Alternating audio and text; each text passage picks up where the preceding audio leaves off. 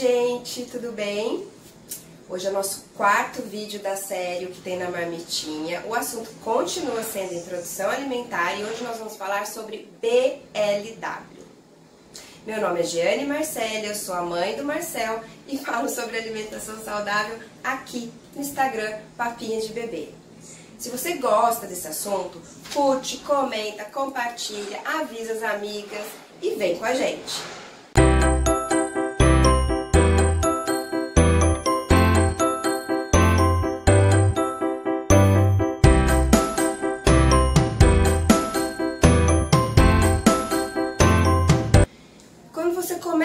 Estudar sobre introdução alimentar, hoje mais conhecida como alimentação complementar, você vai ver introdução alimentar tradicional, introdução alimentar participativa e BLW. A minha experiência com o Marcel é, foi com a introdução alimentar participativa. Por quê? Porque Marcel, desde novinho, tem dificuldade de pegar a textura com as mãos. Então, não dava para continuar fazendo BLW e eu tive que passar para a introdução participativa e beleza, tudo bem. BLW.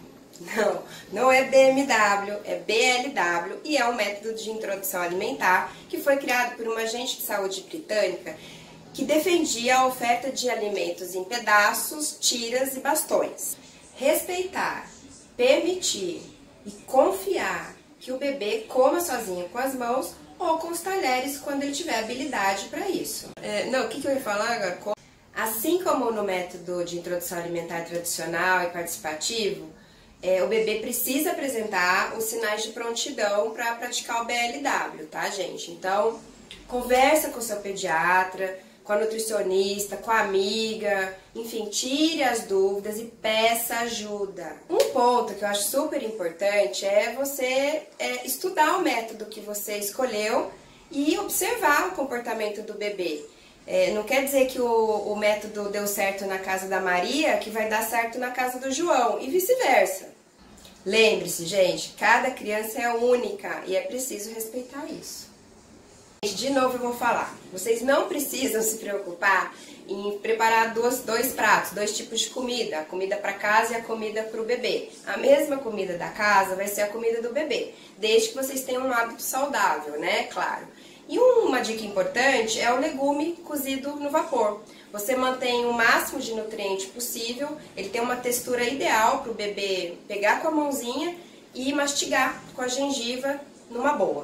Gente, qual é o tamanho ideal do, do palito, do pedaço para você oferecer para o bebê? Vou dar uma dica. Sempre um pouquinho maior que o pulso do bebê. Por quê? O bebê ele pega o alimento com a mãozinha em formato de garrinha. Ele agarra assim e come o que sobrou da mãozinha dele, depois ele solta e vai atrás do próximo alimento que ele consiga segurar com a mãozinha dele. Então é muito comum que ele deixe os alimentos cair no chão, tá, gente? É normal comum nessa fase, gente, é o bebê mais brincar com a comida do que comer. Então ele vai pegar, ele vai passar no rosto, no cabelo, na roupa, cheirar, espremer, esmagar, deixar cair no chão e tudo bem, faz parte do aprendizado do bebê, tá? Então tenha paciência, é um momento maravilhoso e aproveite essa fase com o seu bebê.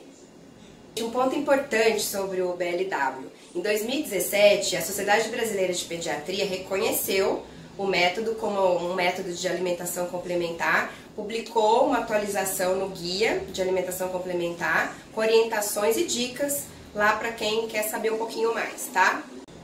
Outro ponto importante é que depois que você escolheu o método, estuda, gente. Busca conhecimento, converse com o pediatra, converse com a nutricionista, com a amiga que já fez, que não fez. É fundamental que você chegue segura dessa fase. É uma fase linda, deliciosa, de descoberta, desafio para o bebê e para toda a família. Gente, eu vou indicar para vocês dois livros sobre BLW de uma amiga querida, a Érica, onde ela retrata a experiência dela com as filhas, a Pituca e a Didi. A Érica também escreve sobre o método BLW aqui no Instagram Mundo BLW. E também vou colocar aqui dois vídeos das meninas praticando o método.